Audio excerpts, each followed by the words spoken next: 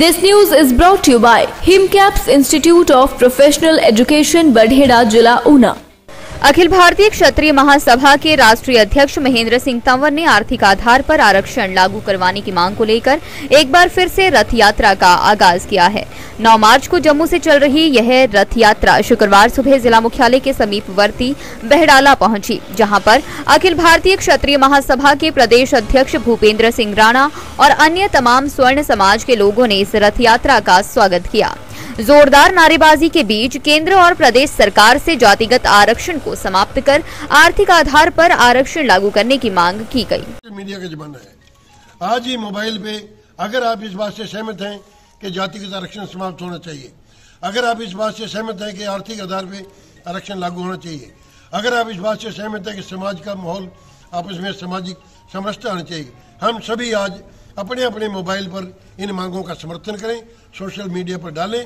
Social media के जमाना है, सोशल मीडिया से सरकार पे भी और समाज में भी एक जन आंदोलन होगा, जागृति होगी और सरकार पे दबाव बनेगा। बहुत बहुत धन्यवाद। महेंद्र सिंह तंवर, राष्ट्रीय अध्यक्ष, अखिल भारतीय क्षत्रिय महासभा। 9 अगस्त के ऐतिहासिक दिन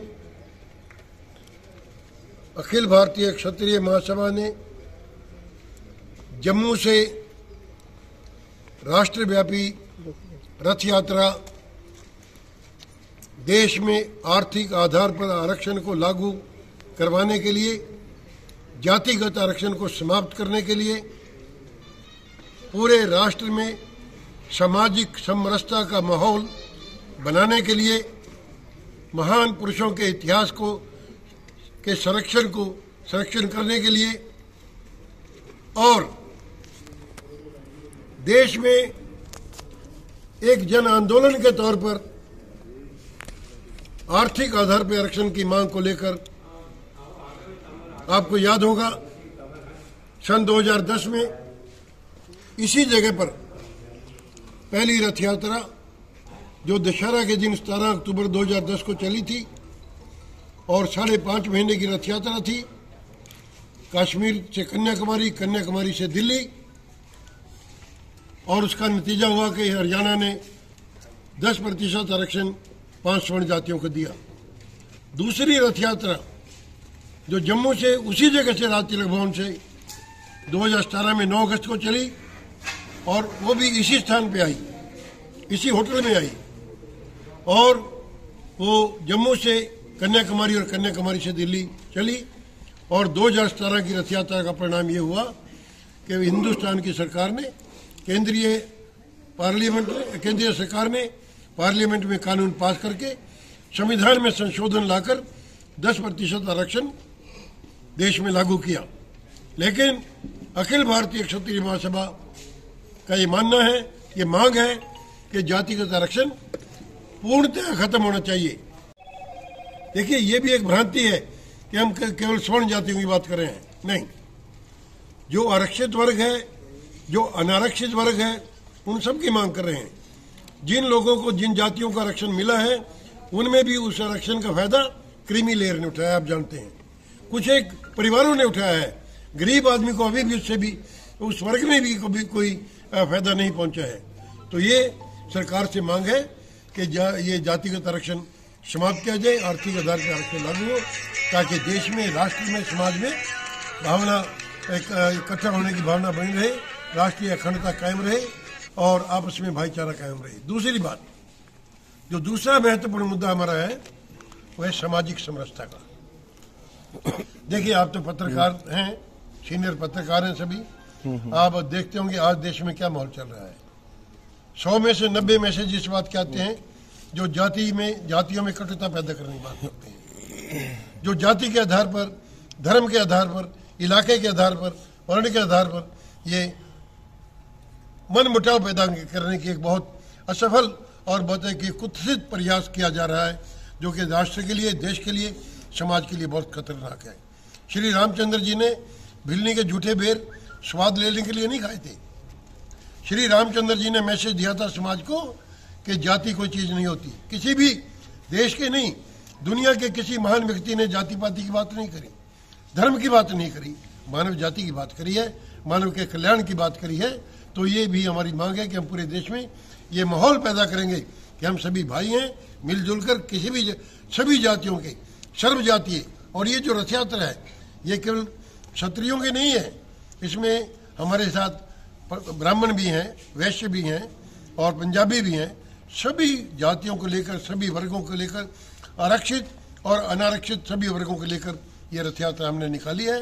और हम आपके माध्यम से ये निवेदन करते हैं कि केंद्रीय सरकार पे इस बात का दबाव बने और पूरे देश में एक जन आंदोलन फैले। हमने एक और आपसे प्रार्थना करते हैं। दिव्य हिमाचल टीवी के लिए ऊना से मुनिंदर अरोड़ा की रिपोर्ट।